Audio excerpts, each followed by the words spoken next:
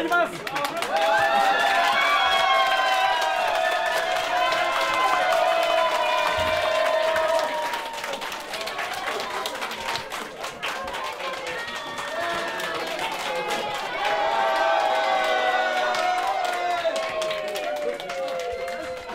小選挙区では2度目の勝利です。どのように受け止めていますか？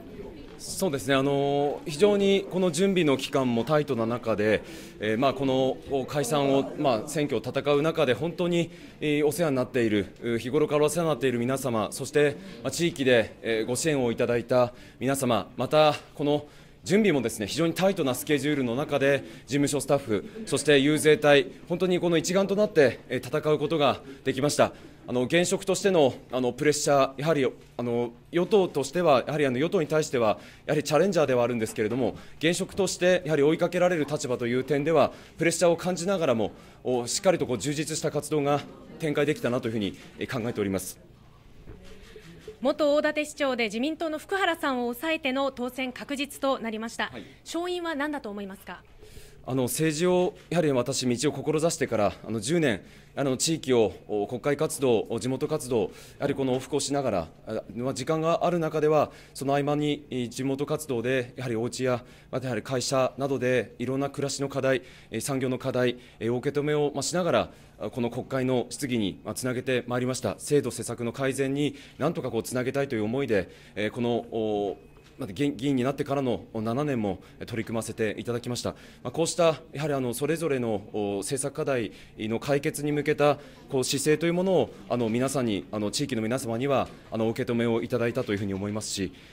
まあ、あのこの期間中でもお一人お一人のあの、まあ、対面、対話という機会をあのとにかく大事にしながら、まあ、遊説も大事ですし、そして、えこの街頭でのあのご挨拶の中で、やはりあのやはり近寄ってお話ししてくださる方がいたり、私から話しかけたりすることで、さまざまなまた新しいご縁をあのいただいたというふうに思いますので、こうした取り組みが本当に結果につながったのだというふうに考えております。